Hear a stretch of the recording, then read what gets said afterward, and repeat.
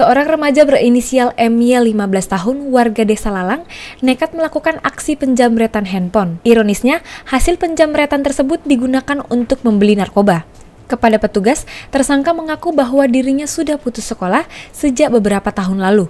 Ia juga mengaku sudah melakukan aksi penjamretan handphone sebanyak empat kali dan yang menjadi target utama adalah pengendara wanita yang menggunakan sepeda motor. Sudah berapa kali melakukan penjamretan di jalanan seperti ini? Empat. Hasilnya dibuang, dijual ke mana? Dia dia acak-acak dijual. Dengan harga berapa? Ada yang 900, 800. Terus uangnya digunakan untuk apa? Narkoba.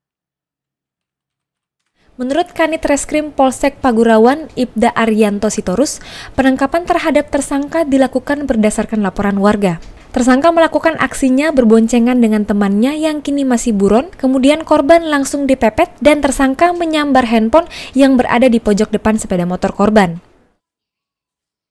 Kami mendapatkan informasi bahwasanya pelaku-pelaku tersebut berada di seputaran tempat tinggalnya.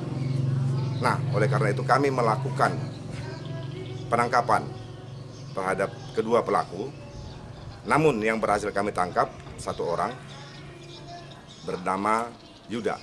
Dalam perkara ini tersangka dijerat pasal berapa ya Pak?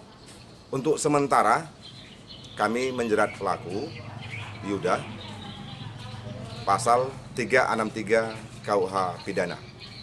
Dengan ancaman hukuman berapa Pak? Ancaman hukuman 7 tahun. Dalam perkara ini, tersangka dijerat dengan Undang-Undang KUHP pasal 363 ayat 2, yakni pencurian yang direncanakan dengan ancaman hukuman 7 tahun penjara. Saat ini tersangka sudah diamankan di Mapolsek Pagurawan, Kecamatan Medang Deras, guna pemeriksaan lebih lanjut. Dari Batubara, Sumatera Utara, Soleh Pelkat Tribrata TV, Salam Tribrata.